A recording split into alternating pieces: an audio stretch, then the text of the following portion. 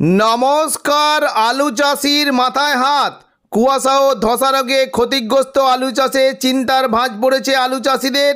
গত কয়েকদিনের অব্যাহত ঘন কুয়াশার কারণে উদ্বিগ্ন হয়ে পড়েছেন বীরভূম জেলার আলু চাষিরা। কখনো ঠান্ডা, আবার কখনো হালকা গরমে আলু গাছে ব্যাপক ক্ষতি হয়েছে। যারা এখনও জমি থেকে আলু তোলেননি, তাদেরকে বিশেষ সতর্কতা অবলম্বন করতে নির্দেশ দিয়েছে কৃষি দপ্তর। চাষিরা জানিয়েছেন, কুয়াশার কারণে আলু গাছে ধসা রোগ লাগার কারণে ফলন অনেকটাই কম হয়েছে। এদিকে সার ও কীটনাশকের আকাশছোঁয়া দাম বাড়ার ফলে চাষিদের আলু চাষ করতে সমস্যার সম্মুখীন হতে হচ্ছে। এখন খুব ভালো আলু দুশো থেকে দুশো টাকা প্যাকেটে বিক্রি হচ্ছে। চাষিদের দাবি, চাষ করতে যে খরচ হয়েছে তাতে লাভের লাভ কিছুই হয়নি। দক্ষিণবঙ্গের পাশাপাশি উত্তরবঙ্গের জেলায় জেলায় আলু চাষিদের মধ্যে ক্রমশ ক্ষোভ বাড়ছে। উত্তরের একাধিক জেলায় আলু বিক্রি করে চাষিরা কেজি প্রতি মাত্র দেড় টাকা থেকে আড়াই টাকা করে পাচ্ছেন।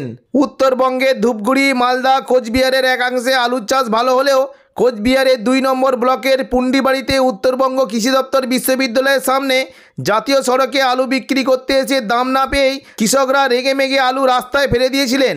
তবে শুধু কোচবিহারই নয়, উত্তরের একাধিক জেলায় আলু বিক্রি করে দাম পাচ্ছেন না কৃষকরা। অন্যদিকে হিমঘরে আলু রাখার ক্ষেত্রে বন নিয়েও নানা অনিয়ম শুরু হয়েছে।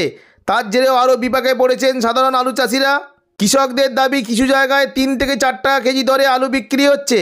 এদিকে চাষের খরচও আকাশছোঁয়া অনেকে ঋণ নিয়ে আলু চাষ করেছিলেন। তারা আশায় ছিলেন আলু বিক্রি করে হয়তো লাভের মুখ দেখবেন, সেই টাকায় ঋণও শোধ করবেন। কিন্তু সে আশায় জল পড়ে গিয়েছে, যার ফলে মাথায় হাত পড়েছে আলু চাষিদের।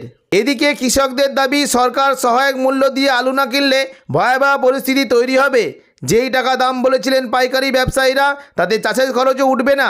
সেই ক্ষেত্রে আলু বাজারে বিক্রি করার থেকে রাস্তায় ফেলে দেওয়া ভালো বলে মনে করেছেন আলু চাষিরা। এখনকার মতো খবর এখানেই। পরবর্তী এরকম আপডেট পাওয়ার জন্য চ্যানেলটিকে অবশ্যই সাবস্ক্রাইব করে পাশে থাকা নোটিফিকেশন বেলটি অবশ্যই ক্লিক করে রাখবেন। আর যদি আপনাদের এই খবরটি ভালো লাগে, তাহলে লাইক ও শেয়ার করতে ভুলবেন না। ধন্যবাদ।